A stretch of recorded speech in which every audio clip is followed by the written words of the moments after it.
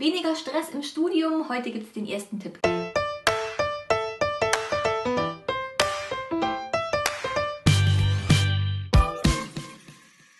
Wir wollen alle weniger Stress haben. Auch als Student ist es so, dass man nicht getrieben sein muss von diesem ganzen Lerndruck, sondern man kann sich das auch alles ein bisschen leichter machen. Und deswegen habe ich euch ja versprochen, dass wir hier eine Reihe starten zum Thema stressfrei durchs Studium mit verschiedenen Tipps und Tricks.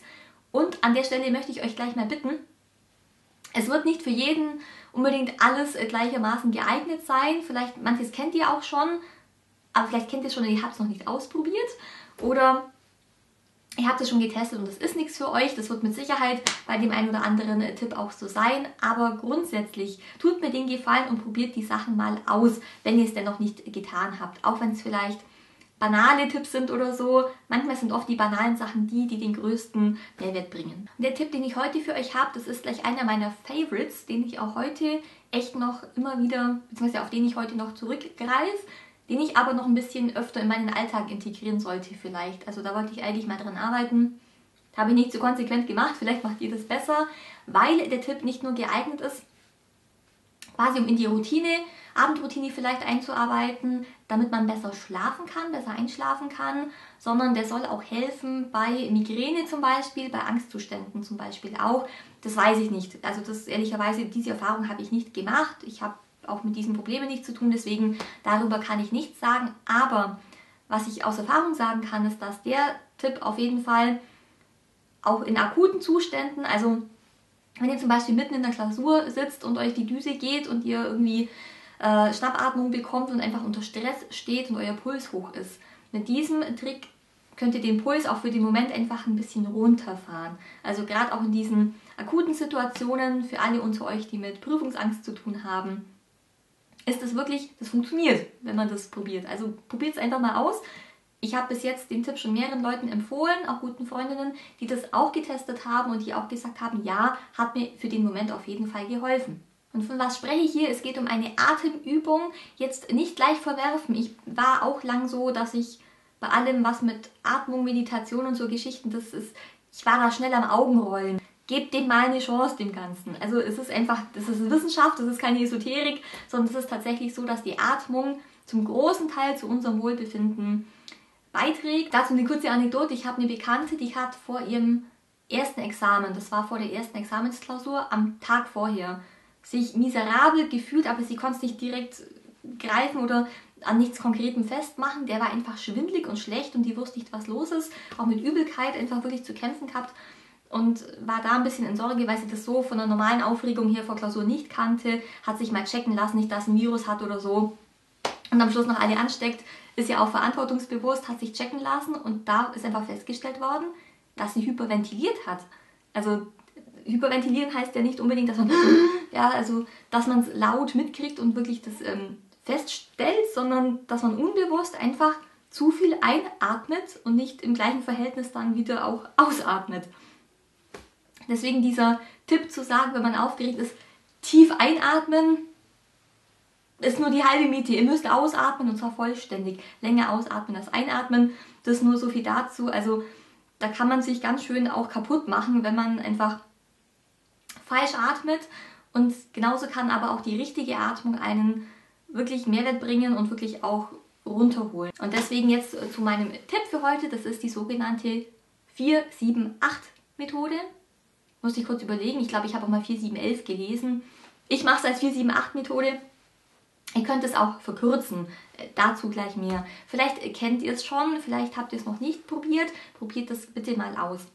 Total simpel, ihr müsst einfach vier Sekunden einatmen. Macht das am besten durch die Nase, atmet vier Sekunden ein. Dann haltet ihr die Luft an und zwar für sieben Sekunden, ganz entspannt. Und dann atmet ihr acht Sekunden aus. Teilweise wird empfohlen, dass man das durch den Mund und geräuschvoll machen soll. Die Yogis raten, glaube ich, öfter mal dazu, dass man es quasi mit dieser Kehleatmung machen soll.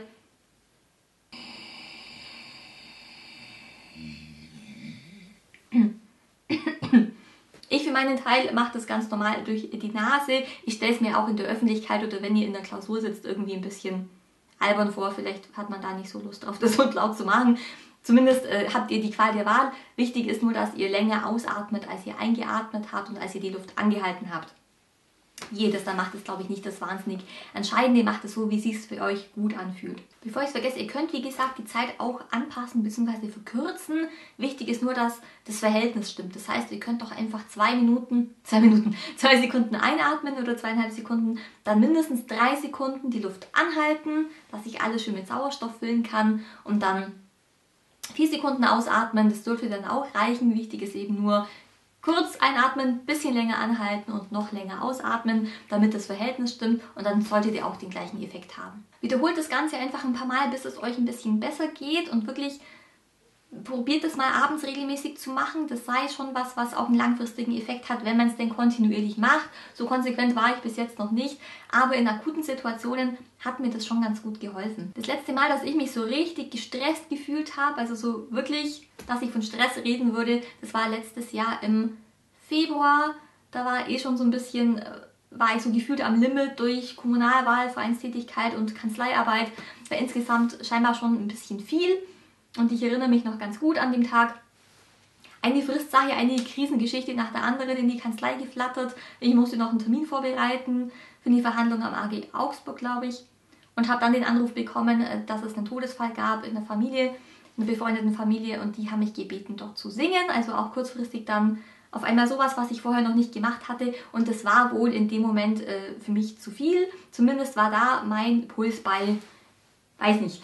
Mein Ruhepuls ist immer recht hoch, das spüre ich gar nicht, aber da war mein Puls einfach hoch und der ist nicht runtergegangen.